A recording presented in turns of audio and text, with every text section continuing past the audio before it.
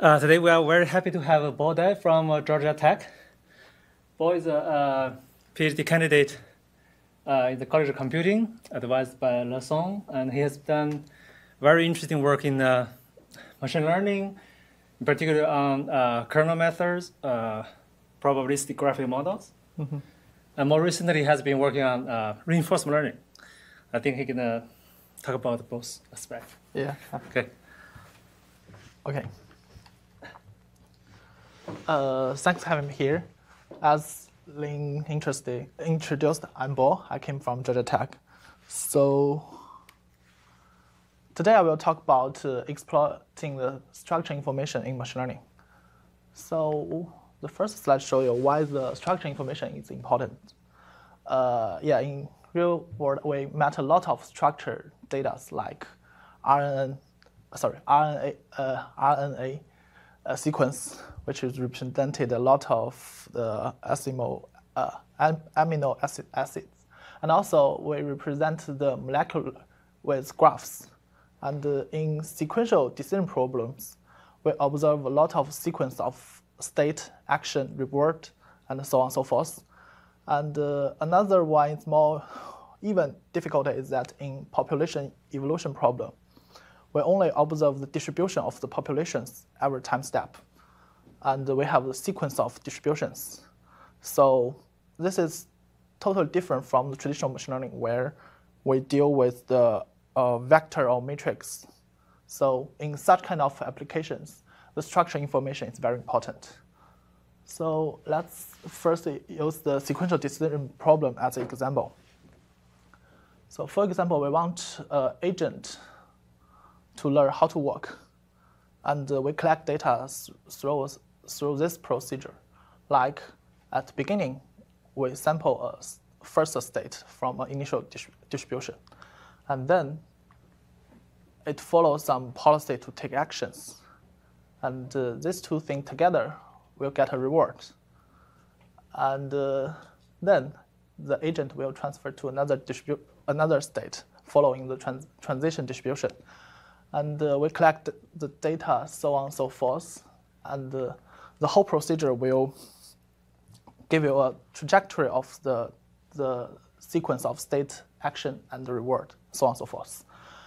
And uh, the ultimate target of the sequ sequential decision problem is that we want to maximize the accumulated, accumulated uh, reward. Here, uh, gamma is said to be a discount factor, which is in 0 and 1, so that this uh, summation is valid. And in machine learning, we call this reinforcement learning, but actually they are the same problems. Uh, so machine learning actually is quite uh, wide applied recently. It's particularly suitable for the task where we don't know the direct supervision information, and we only know roughly uh, indirect inf supervised information. And uh, for example, in chatbot, we don't know which reply for particular sentence is good. We only know whether this conversation is makes sense or not. And also in playing the, the uh, Go, even human don't know which one is the best movement. And for the robotic control, we human know some idea about uh, how to do that, but just only for human. So when it comes to the robotics, because it, they have different mechanism design. So actually, we don't know which one is best movement for them. Under such scenario, the reinforcement learning is most natural choice. And second example is we want to learn, uh, we want to do supervised learning on graphs. This is almost the same as traditional supervised learning. The only with one exception is that the observation for x is not a vector currently it's become a graph. And what you learn is that you want to learn a function which maps the graph to its target value. Uh, my work is, okay, this one is uh, particularly useful for organic uh, molecular design. Uh, traditional idea in selecting the particular suitable molecular for organic cell design that uh, they expert first propose a lot of candidate molecular, and then the, they do testing for each molecular, and finally find the best one. This one is very cost because for each testing week, it costs both time and money. Mm. And uh, once we have the uh, function which maps the molecular to a particular value related to the task, we can do molecular screening to narrow down the search space. For, for example, here, we have the function f, which maps, uh, which mapping the molecule to its power conversion efficiency. And then we can cancel out several molecule, which is uh, impossible to make uh, the solar cell work. And then we only need to, sorry, we only need to search on these two molecules to see which one is best. So my work is uh, basically focused on structured data. So we, I want to design the principled and practical models and graphs which can exploiting the structure information and also efficient in terms of statistic and uh, computational. And also, I want to have some theoretical guarantees for that. So with this kind of idea, my work lies in optimization and utilize optimization for reinforcement, reinforcement learning and also Bayesian graphic model and kernel method, and finally, deep learning. So today I will talk about first work about op apply optimization to reinforcement learning. And uh, then I will talk about uh, deep learning to utilize deep learning to model the structured data. Okay, that's, uh, I will start the first part of the work, which is smooth the Bellman error embedding control. Well, this work uh, is partially done here. Work with uh, Lin Xiao and uh, Jian Shu and uh, Li Hong. Okay, let's first start the ultimate target for reinforcement learning. In reinforcement learning, we want to maximize the cumulative reward. So fortunately, we can, we can just rewrite the object function into an expectation of something. And uh, you know, if we have such kind of formulation, the most natural way is that we can do utilize stochastic gradient to solve it. And people already done that 20 years ago, uh, which is by Sutton and uh, his group. Basically, they calculated the stochastic gradient for this object function. And uh, in practice, because the maximal cannot calculate, so it's truncated somewhere. So that's why we just a summation to t. Mm the good thing for, this algorithm is that it's always converge because the stochastic gradient.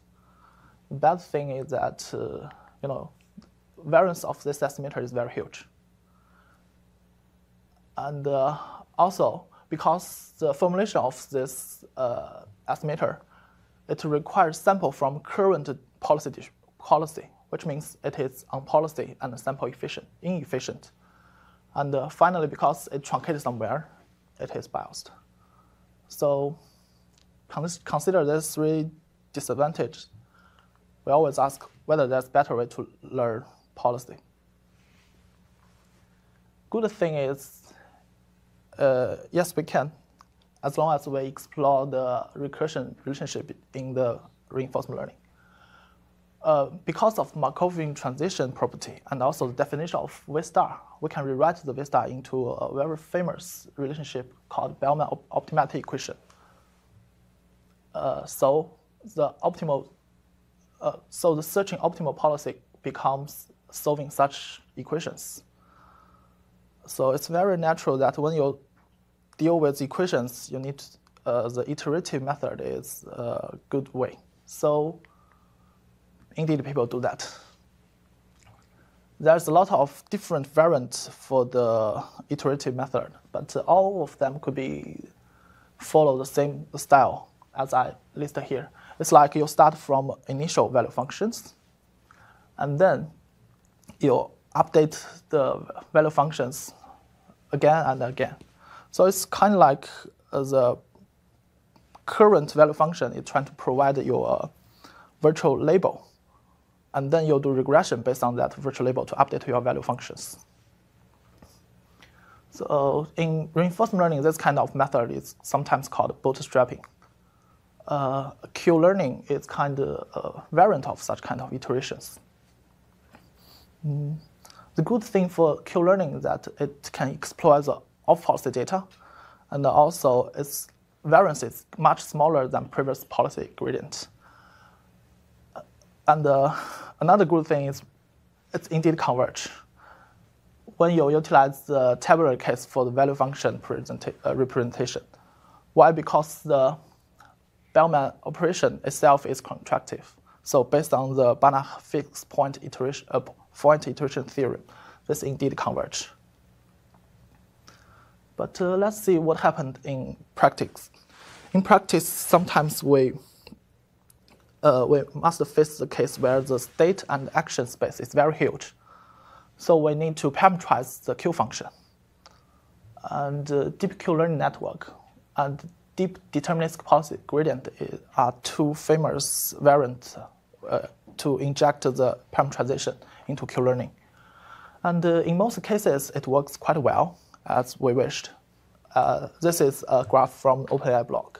So here, four different lines representing four different variants of deep Q learning. Mm. But uh, when we inject the uh, parameterization, the contractive property is no longer held in the parameterized function space. So it can be diverged, which is this case. Basically, you see, it's, we never know when to stop the algorithm. So let's recap here. For the two existing two categories for reinforcement learning, the policy gradient is good at is converge, and uh, it, but it's very bad because the sample efficiency is very bad, and also it has high variance. Contractive to that, the parameterized Q-learning is good at uh, sample efficiency and uh, variance is small, but it's not converge when you inject the parameterization. So we are trying to, we're always very greedy, so we are trying to see whether that's good algorithm to try to combine these two. Yeah, please. So, I'm sorry, I don't understand when it does not converge. When you, when you, so you said that there's some theorem that guarantees that it should converge. Under some particular parameterization. And that's what it's sample efficient. Uh, so it's only sample efficient when you can guarantee conversion. No, no, no, no, that's not the case. Let's go back to the slide here. So when you utilize the vector, which is tabular case to parameterize V here, it's the contractive property is only hold for L infinite norm. And when you inject the parameterization, so you cannot uh, hold for the norm in terms of that particular parameterization space. So the theorem doesn't hold anymore. Because then you, can, then you cannot say anything. It's not sample efficient. It's nothing, right? Uh, it's, it can learn something. So that's I say sample efficient. What does sample efficient means if you cannot converge? Uh, no, it's not that, that's sense. It's sample sample efficient here means whether you can utilize the off-policy sample, no matter it's converge or not.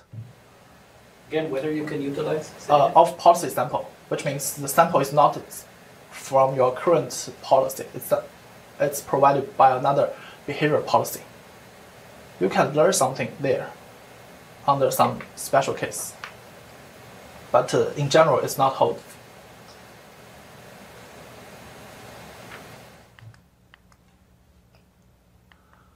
Uh, okay, actually, the convergence is a long-standing problem, uh, and uh, we don't have much progress until sorry until our, our paper, which is smooth Bellman error embedding.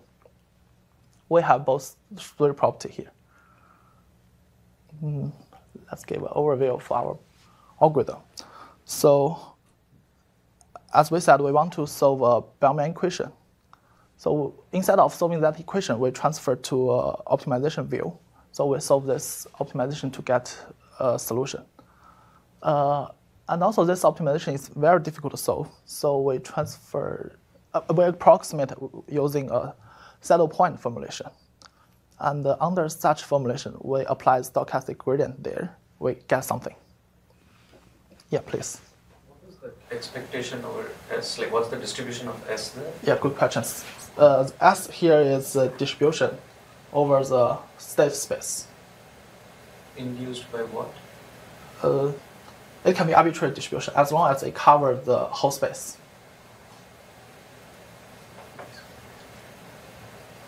Mm, let's see how we can arrive such reformulation. Uh -huh you went too fast. I mean, are we supposed to read or? No, actually, uh, this is only an overview for what I did. So we transfer the original formulation to a saddle point, and uh, we prove something based on this saddle point formulation. And, will we understand this saddle point? Or What? will you will you explain this saddle point? No, yeah, I I will explain later. So let's see the original formulation for the optimization.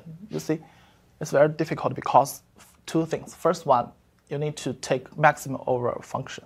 And this maximum operator makes object function non-convex, non-smooth. And second thing is it's nested with a conditional expectation.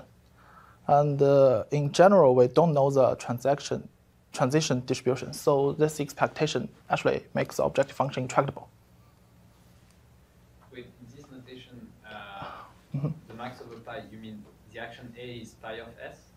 The pi stands for policy, so it's like uh, given the state, you need to select uh, action. So it's maximum over a function.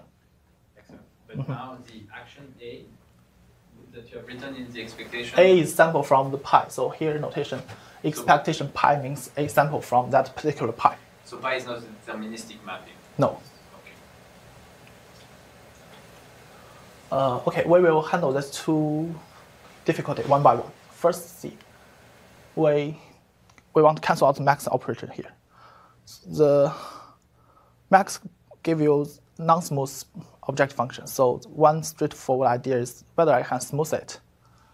So I introduced the uh, conjugate smoothing technique to the left-hand side of the equation, and we arrive the new Bellman equation here. It's a little bit different from traditional conjugate smoothing technique because the opt- opt- optimal value is also appearing on the right-hand side. So we can utilize such relationship to slightly modify the original Bellman equation. So we change this one to here.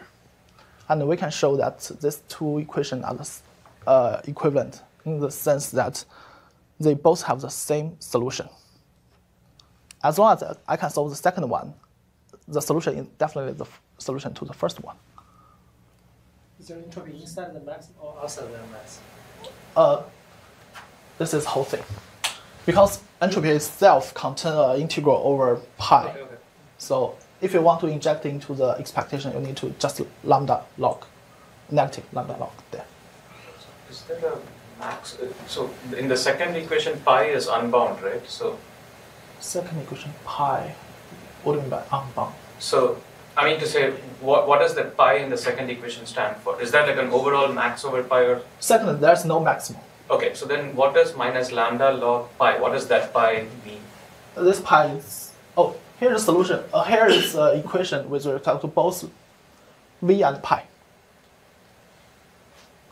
You see, as long as you solve the second equation with respect to both v and pi, the particular v is also the solution to the first equation.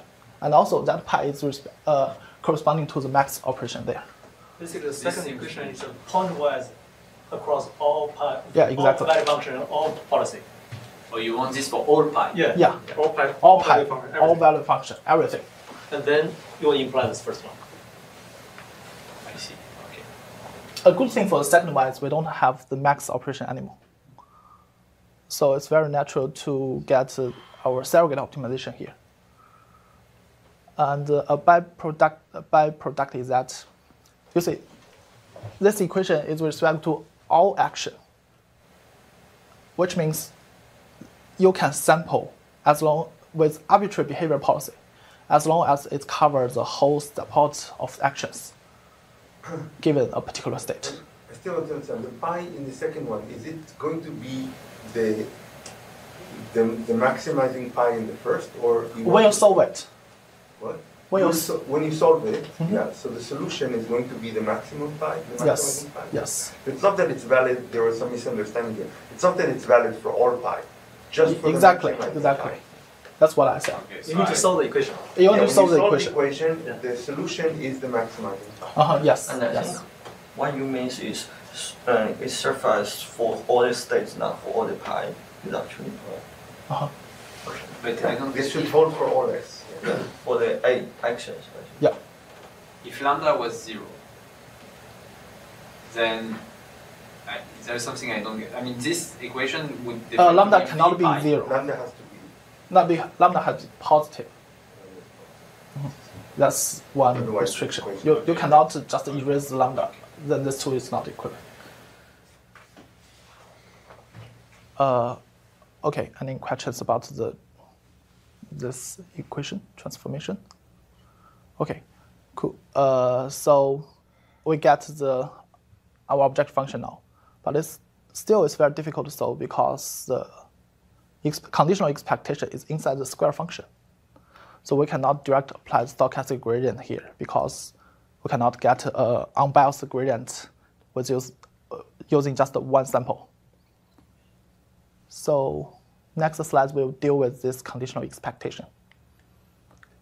Yeah, the tool is utilize the conjugate functions. I think uh, everyone sitting here is very know very well about the conjugate functions. Let's take the square function as an example. Uh, we can rewrite the square function as a maximum operation over a dual variable. Uh, yeah, and then we plug such relationship into the object function, and we get we arrived here. Still, the conditional expectation uh, and the outside expectation is separated, so we don't have any progress, and uh, we cannot simply uh, extract max outside because these two are not equivalent. What I did, we extract outside with one slightly change. We don't optimize over a single variable. We optimize over a function. Uh, and we prove these two are equivalent. Actually, the intuition for this switch is uh, very simple. Let's look at this line. For each S and A, you will have its corresponding maximum uh. And then you collect all of them and build a mapping from S and A to the mu. And actually, this function is the solution to the last two line. Yeah, anything about this slide? Uh-huh. Question on the previous slide. No I mean, it- it's a question of the whole thing. So the eventual v that you solve and get, the v and the pi that you solve and get, Mm-hmm. only solves like the lambda regularized. Uh, Not point. equivalent to zero. Not, it's not equivalent to the original Bellman optimal v Exactly. that you care about, Uh-huh. right? So how far? Yeah, we characterize that Okay. in the paper. Mhm. Good questions, actually. Uh, that's that's what I'm trying to talk later, but uh, you already find it. So we can solve the we change the uh, object function to max over joint distribution, joint expectation over here, and then if we denote this one as phi, we have the object function here. And uh, well, because in off policy setting we don't have the, the policy cannot in pure off policy setting, the policy cannot interact with the environment. The sample are provided by a behavior policy. So we direct target on that setting and the, we approximate expectation with that off policy samples empirical finite summation. So it denoted as phi hat here. And then the left thing is we want to solve this min-max problem uh, we divided it into two cases. First case is that we can indeed solve the max operation. And second case is uh, if we use some neural nets parameterization for inner nu, we don't have that max. So we only update with the gradient, stochastic gradient here. For the outside v and pi, we always update with stochastic gradient. And this com- compose our algorithm to solving this saddle point problem. Okay, here is some analysis for the convergence. Uh, as we said, if we are only give one of policy samples which are dependent, and uh, we give we we parameterize the v pi nu with different parameterization function, we have different convergence uh, results. For v pi mu, which are parameterized use arbitrary nonlinear functions, we can guarantee the previous algorithm converge to a local Nash equilibrium. uh, which stands for the gradient for both v pi and gradient for mu is equal to zero. It's no longer move. What if we can if we parameterize the inner nu as a linear function or kernel function, in which we can get to the maximum parameterization? The algorithm converges to a station point of original problems. And uh, even special, if we parameterize the v pi mu into uh, two-layer neural nets with ReLU activation functions, we prove that the algorithm converges to a global optimal solution. Two layers is is one hidden layer. Exactly, one hidden layer and then o- output. Seems like a surprising result. It, it relates to the recent works which says that when you train on a two-layer random neural network, then all local minimum is equivalent to global minimum. Uh, yes, actually, this here is not a station local minimum. Here's uh, every local Nash equilibrium is will be a global optimal solution to the original problems. But that's Uh, that's a little bit tricky because uh, we exploit two properties. First one is object function itself is only square functions. Uh, this is also most of cases for current analysis for neural nets. And the second thing is uh, we analyze the, the property of the ReLU. And also that's also very important in our analysis to push the basis function with high probability to have a uh, can be expanded as a f- full space. but this result is without any assumption. It's like just uh, with some assumption about the uh, how you get sample. Actually, the sample here is dependent, so we have assumption about uh, the dependence should be beta mixing. If it's converted to IID, it's also work because beta mixing is more or general than IID assumptions. Mhm. And uh, yeah, this is the results about uh, convergence. So next, we analyze the special case uh, where we parameterize the V pi mi- as two-layer neural nets. We show that the algorithm output a function, and that one is approximation to the V star in rate 1 over square root of t with some actual error. This actual error, including the, as you said, I smoothize the Bellman equation. That will introduce some bias. And also I utilize the parameterization. So it also introduces some approximation error there. Uh, this term is statistic error. I split it outside because, as I claim, this algorithm is sample uh, efficient. And uh, why? We can compare to the existing results for the policy gradient, sample complexity, and uh, a particular Q-learning which can be proved converge under very restricted assumption. Uh, our results is 1 over square root of t. It's much, much better than the even restricted uh, Q-learning. Which here dA stands for the dimension of your actions. And the policy gradient, it cannot learn from just one of policy, of policy samples. Uh, T here means the trajectory length. M here means how many trajectory you need from just uh, current on policy. So that's why it's extremely sample inefficient. Uh-huh. Can you go back to one slide? For the last case, when you solve the min-max problem, and you solve it uh, for I the just use maximization problem, you solve it to the optimal, No, or you just no. I one just step get one step. Because as, as I said, I proved that every local Nash equilibrium is a global optimal solution to the original problem. Okay, so Yeah, any questions about here? I'm finding it hard to compare the bounds. So in the in the Kakade bound, in the policy gradient, Uh-huh. t is in the numerator. What does that? What does that Uh, mean? yeah, that's what I said. In that case, you cannot sample from one trajectory. You need many trajectory. The M stands for how many trajectory you get, and the T stands for the trajectory length. Here's a, in that case, I guess policy gradient. each row out of one policy, one run means one sample. Uh-huh. Yeah. Square root m is the How many square sample you get? You have you need m such trajectory samples. This is the square root of m But convergence. it gets worse and worse with the length of this Exactly. single sample. Exactly. Because the variance become worse and worse when you increase the length of the trajectories. Wait, why, that, why doesn't m grow proportionally to t?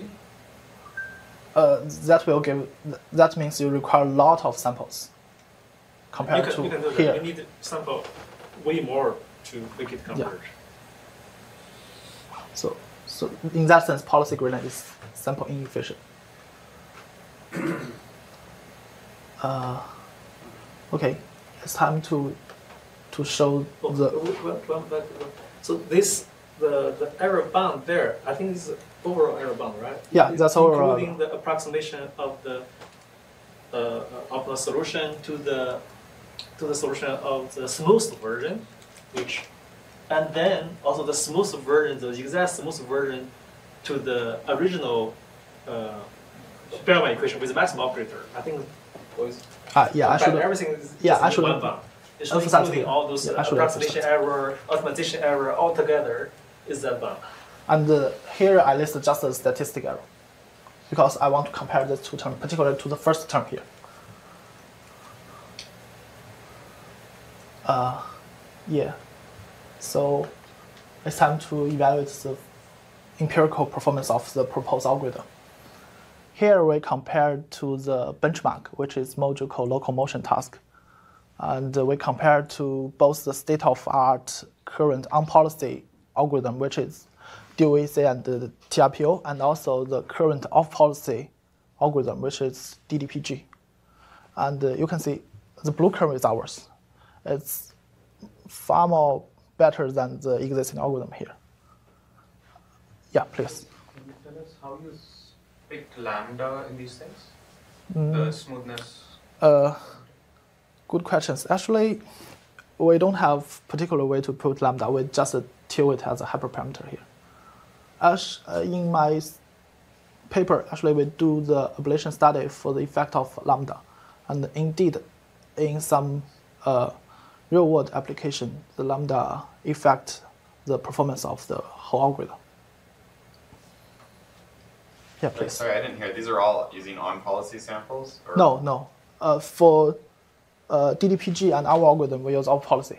And for Dual-AC and TRPO, because they only designed for on-policy samples, so we follow their setting.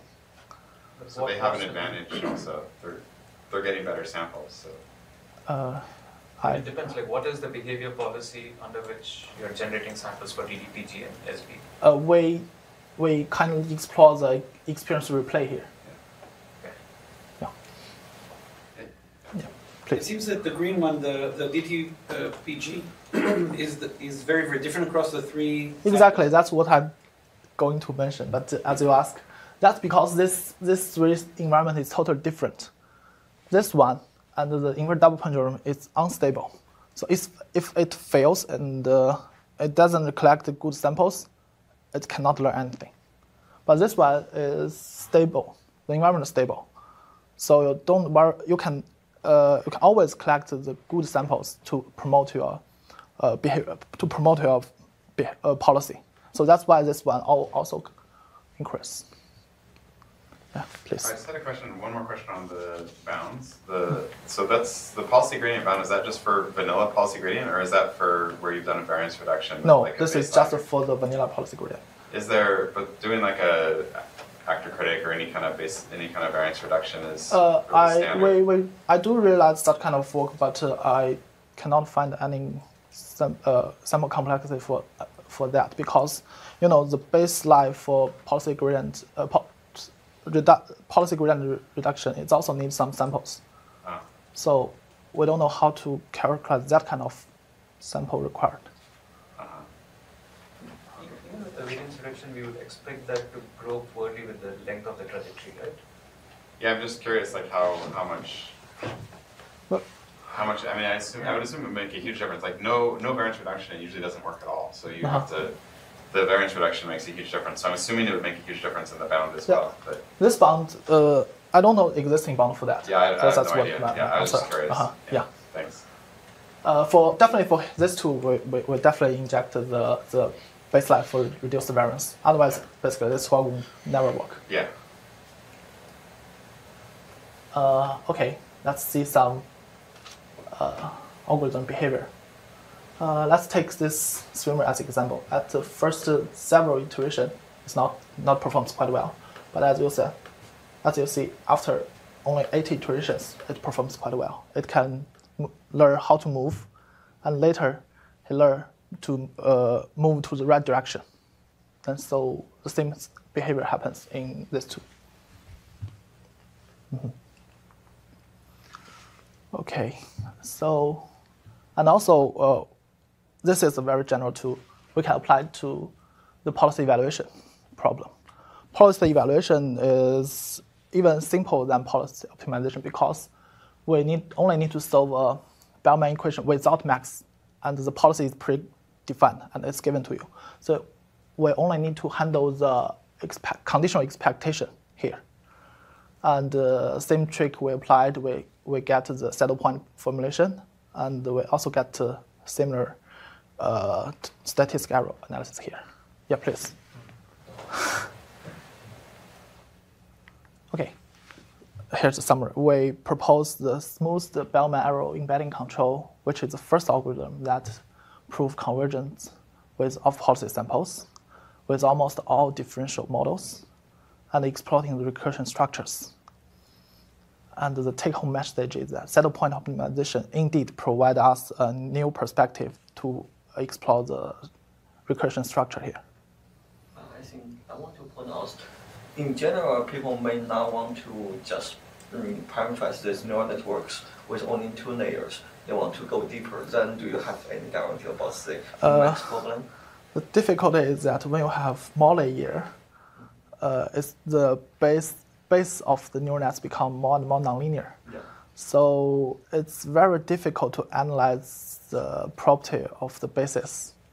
So think it's uh-huh. yeah. uh, currently I don't have any idea for how to extend the current method we use to analyze the two-layer neural nets. Uh, yeah, that's my answer. I don't have a straight idea how to do that. Okay. Uh, any questions about the f- talk, first part? Maybe can you? I'm, I'm just still uh, so surprised by the strength of the result, like uh, for the two-layer uh, neural networks. You know, if, if you were just doing supervised learning, Mhm. Then we only know very weak results, even for learning two layers neural network. So I'm, I'm confused. You know, either you need to make strong assumption about where the data come from. You know, it's either Gaussian Uh, or it's a well-specified model, and you know there, there is the data was produced by a neural network, and maybe even the neural network had random weights or something like that. Uh, I think I, I should under, answer this question like there indeed have some paper, uh, which appear not in a very famous conference, which is uh, AISTATS last year, talking about uh, if you use two-layer neural nets and you just want to solve a supervised learning, and indeed they have some guarantee there. The key point is uh, with Realun, you can analyze the spectra of the, the basis with high probability, including how many neural you utilized. But that one you will go to the probability. The more, the better, basically. Can you tell me which paper it is? Uh, the paper name is that diversity leads to better general, generalization. Okay, I will look. I mean, this sounds like um, many many people are missing this. Uh-huh. Yeah. Yeah. Uh, the second part will I will talk about is uh, for graph prediction. So we pre- we propose a, a structure2vec model to do graph prediction. This work is joint work with uh, Han and uh, Le Song. Okay, let's see the graph prediction problem. As, as I introduced, the graph prediction is that the input itself is a graph, and you want either to do classification as the second task or the regression.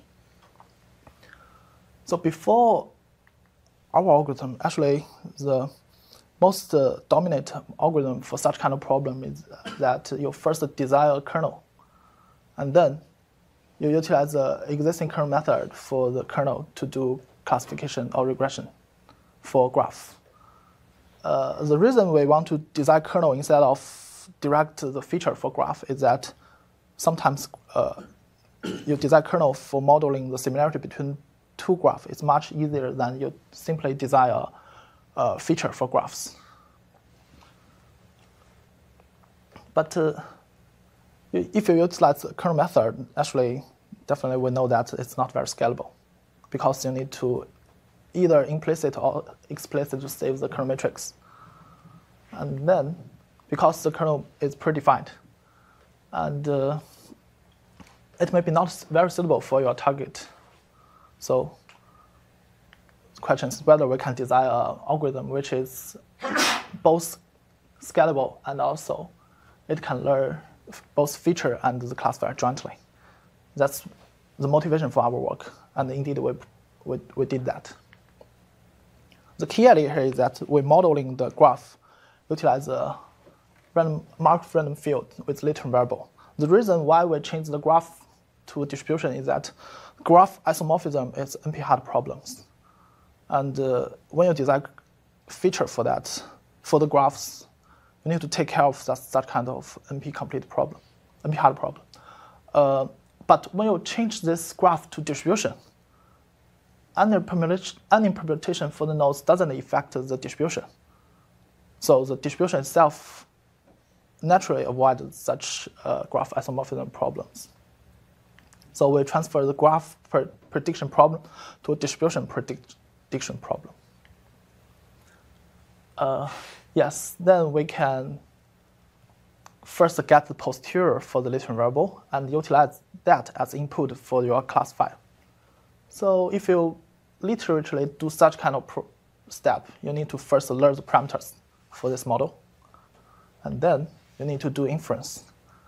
And finally, you need to use the posterior as input to do supervised learning. Now this thing is easy because this one is an undirected graph model. You need to handle with the uh, intractable integral. Same thing happens in the inference. So how can we do that? It seems this idea is not very, very useful. So the good thing is that we can implicitly learn with posterior by neural nets. Let's first see how we achieve that. If we if assume we already have the parameterization for the Markov random field, we want just want to infer the posterior, and uh, with the mean field inference, we can solve this uh, fixed point. And the solution for this fixed point is the posterior approximation. Take example, you want to get the posterior for the QH1. You just grab the neighborhood information and do uh, aggregation. In terms of op operation view, it's trying to solve such re recursion uh, equations. With such a kind of understanding, we can parameterize the uh, operator using a single layer neural nets. And because our ultimate target is not just to predict the uh, posterior, we are trying to use posterior, posterior as features to do classification problems. So we, don't need the exactly W1, W2 to match the mu as posterior. We can use the supervised information to learn W1, W2.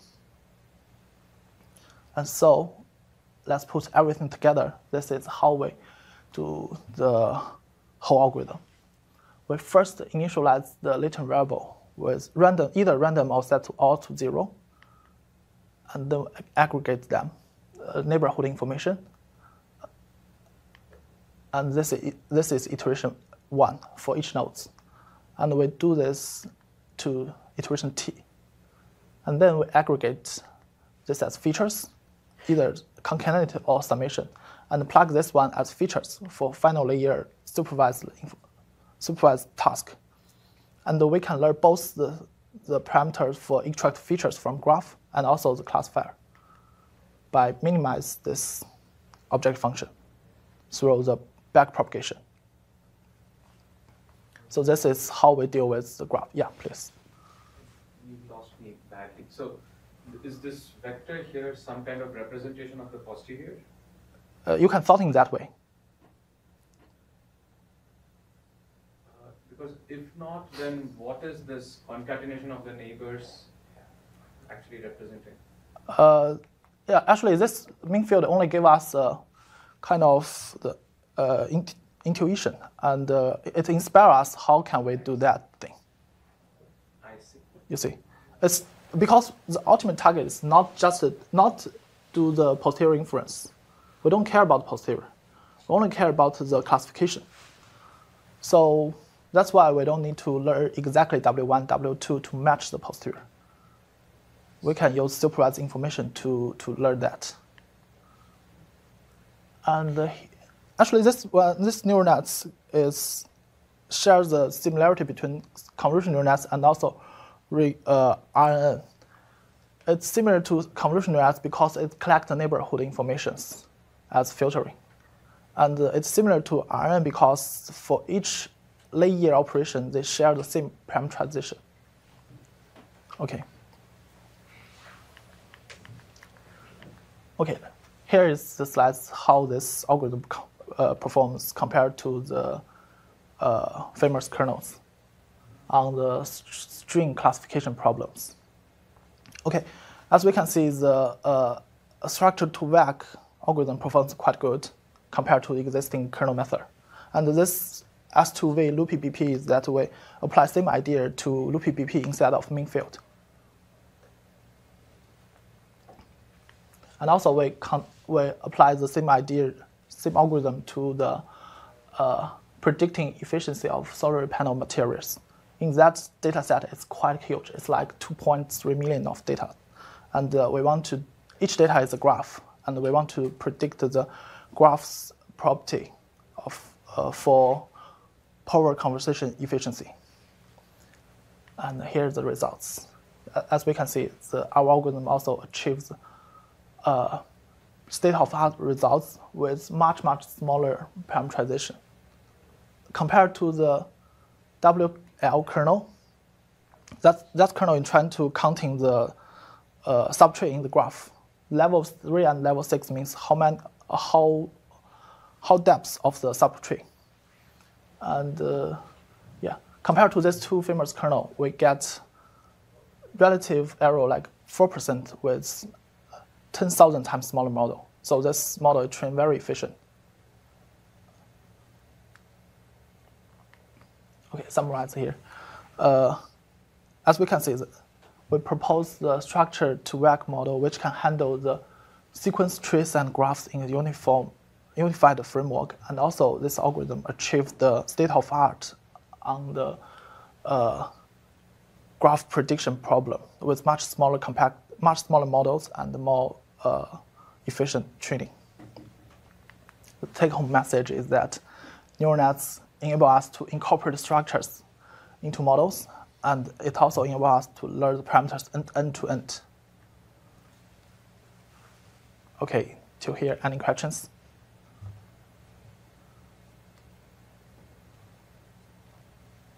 Okay, so then I would like to talk some future work. Uh, the first part is about the theoretical part. As we can see, I reformulated the reinforcement learning into solving a min-max problem. But uh, when I look back into the literature, actually there's not too many work conduct to, for the non-convex concave saddle point problems. So in future, I would like to uh, do both invent some stochastic algorithm for the saddle point problems and also analysis their convergence rate.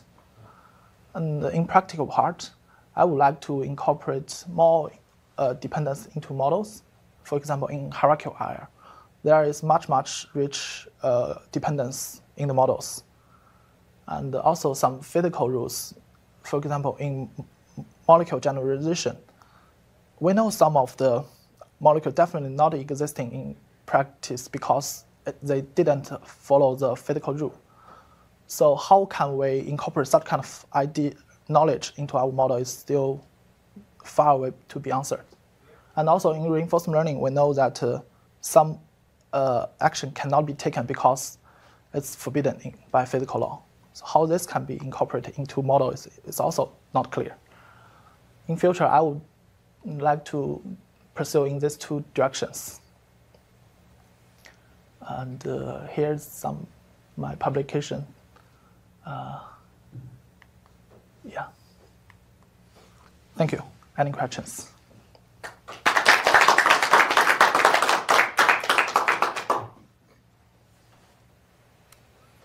Yeah, please. So, for the first part, Uh-huh. um, there, there seems to be at least, or I'm, I'm curious, what are the kinds of lower bounds that we could argue about there, or whether those bounds are tight? Just the, the No. thing that motivates me is arbitrary distributions over state action pairs would have given you essentially the same bound. Uh, not exactly. not really? Uh, you because just needed full support, right? Yeah, I just need full support. But the lower bound, that's even difficult. Actually, let's see. Uh, For the first part,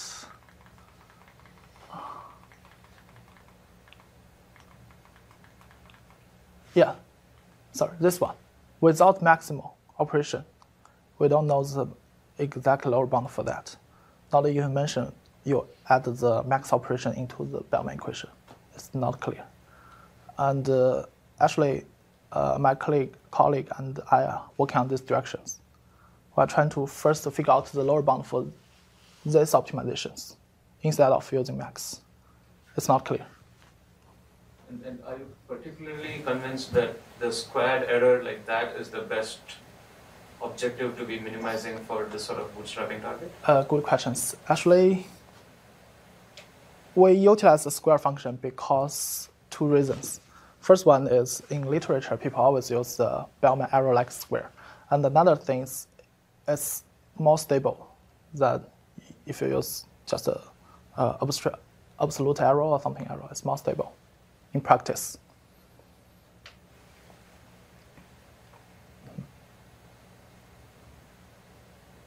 Is there absolute error used like you just basically take the square root of it? It's a norm, right? Yeah, it's an ordinal.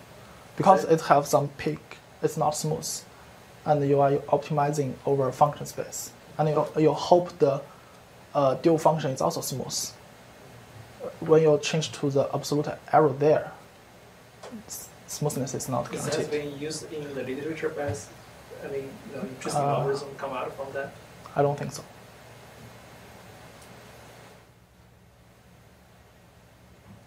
Okay, let's let's again.